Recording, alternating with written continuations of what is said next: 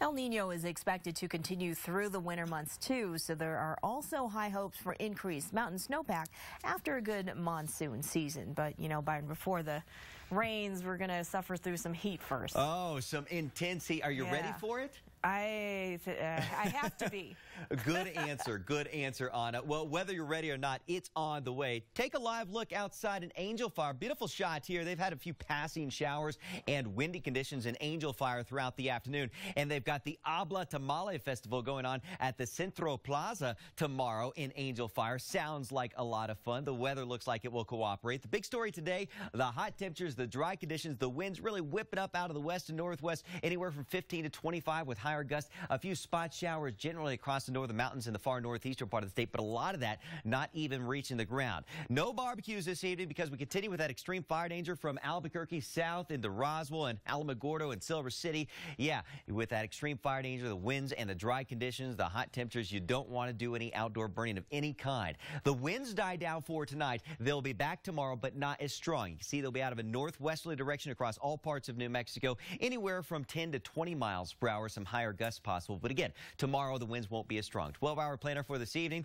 Looking at windy conditions, if you're heading out to the Topes game, they've got a double header going on. So if you missed the first one, they've got another one that will kick off later on this evening. 78 degrees by 11 o'clock. You see by tomorrow morning, cool in the 60s here in the metro. The big story this weekend, the hot temperatures. Check out the heat on Sunday, 90s and triple digits. Likely the hottest day so far this year for many areas of the state. And I think that will get even hotter beyond that. So these are the things you need to remember. Don't leave the pets or kids in the car. Drink lots of water and apply SPF 30 or greater sunscreen. Take a lot of breaks. We do have changes though next week, and it could be a hint at some monsoon moisture working into New Mexico. A better shot at showers and storms, and maybe a little bit cooler temperatures too. That would be nice. Not tomorrow though. Heading down to the New Mexico State Barbecue Championship in Artesia 101 tomorrow. Barbecue sounds good though. 104 in Carlsbad, 87 in Ruidoso. Southwest New Mexico, a bit of a breeze, but it's not going to help too much. 92 in Silver City, 100 in Deming.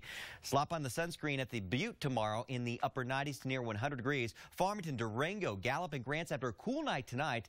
A toasty one tomorrow, 80s and 90s for highs with the breezes up during the afternoon. On the plaza in Santa Fe, topping out at 85 degrees. Red River looking good, 74 the high tomorrow. 78 in Chama, breezy to windy at times. And from Raton, Las Vegas, Edgewood, the East Mountains, Moriarty, and the Santa Rosa after a cool night, it will be a warm to hot day tomorrow with breezes. Right here in the metro, we're looking at hot weather tomorrow. Bernalillo, Rio Rancho, Los Lunas, and Belen. Temperatures in the 90s. And we'll dip to the 50s in the valley, 60s the heights tonight after a windy evening. Starry skies and cooler overnight. 70 forecast shows a 95 tomorrow. And check out that 97 on Sunday, 99 on Monday. I couldn't put 100 on. I just couldn't do it. It's going to be very close on Monday, but it's going to be hot. Breezes during the afternoon, and then that windy change, more humid conditions by Tuesday into Wednesday. Maybe some moisture, but the heat, oh, it's going to be tough. Mm, okay. Thanks, Byron. Yeah.